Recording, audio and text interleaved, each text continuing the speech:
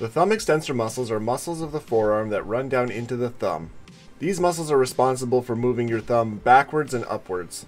This is a very common site for tension and pain, especially for gamers that spend a lot of time throughout the day moving their thumb to control a joystick or press buttons on the side of a mouse. To perform this stretch, first fold your thumb down over your palm and then close all of your fingers over your thumb.